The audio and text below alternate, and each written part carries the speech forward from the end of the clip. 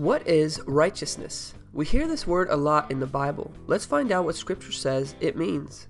Deuteronomy 4 8, Moses said, Or what great nation is there that has statutes and judgments, as righteous as this whole Torah which I am setting before you today? Deuteronomy 6:25 And it will be righteousness for you if you are careful to observe all this commandment before Yahweh our Elohim, just as he commanded us. The Torah is the perfect definition of righteousness. Practicing the Torah is practicing righteousness.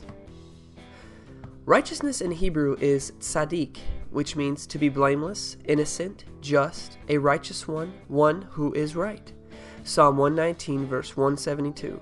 Let my tongue sing thy word, for all thy commandments are righteousness.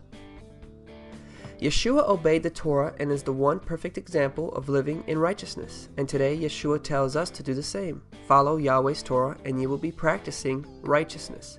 Matthew 6 33, Yeshua said, But first seek the kingdom and his righteousness, his Torah, and all these things shall be added to you. Let's look at the opposite real quick. What is unrighteousness and wickedness? 1 John 5:17 All unrighteousness is sin. Romans 1:29 Being filled with all unrighteousness, wickedness, greed, evil, full of envy, murder, strife, deceit, malice, gossip, you get the idea. Wickedness and unrighteousness is sinfulness, the disobedience of the Torah. Yeshua's first comment to John when getting baptized was this Matthew 3, verse 13 through 15. Then Yeshua arrived from Galilee at the Jordan, coming to John to be baptized by him. But John tried to prevent him, saying, I have need to be baptized by you, and do you come to me? But Yeshua answering said to him, Permit it at this time, for in this way it is fitting for us to fulfill all righteousness. For Yeshua to fulfill all righteousness, he had to keep all of the Torah, and we know he did. The first step was to get baptized in water as the Torah commands.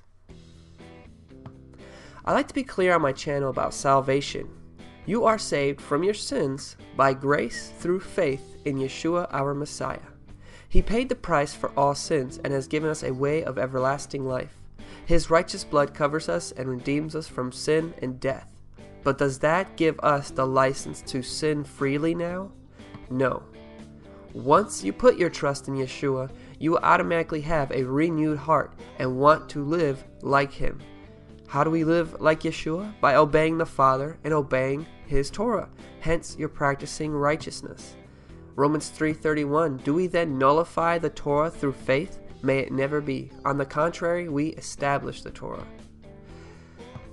Subscribe if you like my videos, and I hope this channel blesses you. Thank you, and shalom.